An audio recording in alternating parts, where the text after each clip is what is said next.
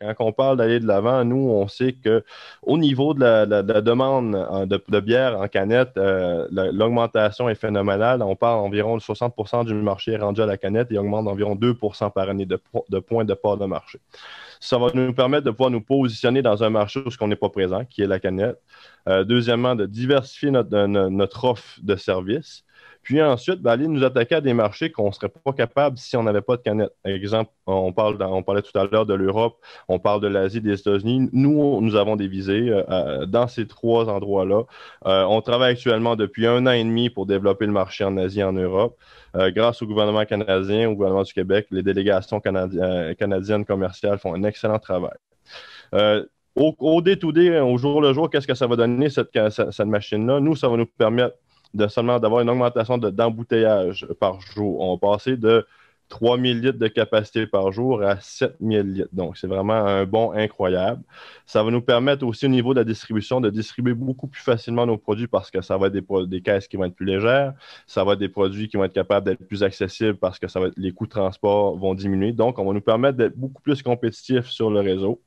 Euh, ça va nous permettre aussi, on parle des installations électriques. Les installations électriques, c'est pas non seulement pour la nouvelle encaneuse, mais c'est parce qu'on a un autre projet qu'on va, va débuter prochainement qui va être euh, l'ajout d'une centrifugeuse, qui est un prochain projet qu'on va développer à l'automne, une centrifugeuse qui va augmenter notre capacité de production, mais aussi de, ramasser le plus de bière possible, de diminuer aussi euh, tout euh, ce qui va euh, au niveau des effluves au niveau de la fosse septique. Donc, on, essaie d'être le plus vert possible, d'être le plus automatisé possible aussi chez Pit Caribou. En chiffre, Pit Caribou, c'est quoi? Fondé en 2007 avec Francis Jonca et Benoît Couillard. Première année de production, c'est 20 000 litres. Cette année, c'est 1 million de litres. On a, commencé de deux employés, nous sommes rendus à 40 employés à temps plein à l'année. Donc, euh, pour, euh, dans la MRC de Rocher-Percé, ça représente énormément de choses. On revitalise une ancienne usine de loup marin, euh, comme Mme Leboussier mentionnait. C'est une usine de loup marin qui a été recyclée en microbrasserie, qui a été développée. On a fait cinq agrandissements depuis 2007 dans cette usine-là. Ensuite, pour revitaliser la ville de Percy, on a racheté l'ancien bâtiment qui appartenait à la famille Robin, qu'on a fait un pub. Donc, on essaie de revitaliser les bâtiments en Gaspésie. On encourage local. On fait des produits avec des bières, avec des, bières avec des produits locaux. Comme à tous les étés, on sort une bière qui est super adorée, qui est la Lollipop. On utilise des fraises de la ferme Tradition Bourdage à Saint-Siméon.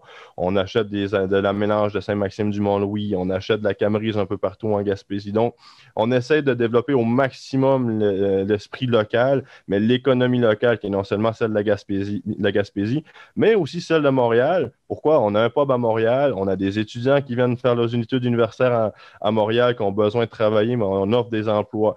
Ensuite, on fait beaucoup de recherches. Pit Caribou aussi, on ne fait pas juste de la bière, mais on fait beaucoup de recherches. Quand on parle de recherche, on parle de la bière à fermentation spontanée que Francis Jonca, ancien propriétaire de première génération chez Pit Caribou, a développé la licence avec la régie d'alcool des courses et des jeux.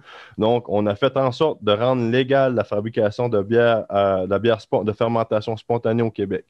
Donc, chez Pit Caribou, on veut non seulement avoir du plaisir à brasser de la bonne bière, mais on veut aussi avoir un regard sur l'avenir, développer une croissance et on ne se crachera pas. Euh, Vincent et moi, mon associé, on souhaite ardemment développer un siège international, un siège social international en Gaspésie qui serait vraiment une fierté pour nous, puis pour les enfants que nous avons qui s'en viennent, euh, qui vont être capables de prendre la relève. Donc, euh, nous, on est vraiment fiers euh, du projet qui s'en vient. La canneuse, en tant que telle, va arriver en juillet cette année, devrait être opérationnelle à partir de septembre.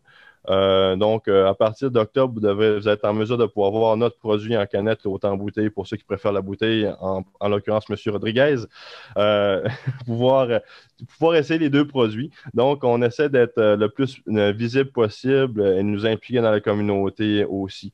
Donc, on souhaite vraiment vous remercier haut la main. Puis on vous donne, on vous lève notre chapeau aussi pour depuis le début de la COVID parce qu'on ne se cachera pas, c'est quelque chose qui n'est pas évident pour personne. Et on, apprécie énormément le travail que le gouvernement vous fait chez nous. C'est vraiment très apprécié. on, est vraiment content. Malgré tout ce qui se passe, on, on, tient, on voit que vous tenez bien le fort et ça serait difficile de faire mieux.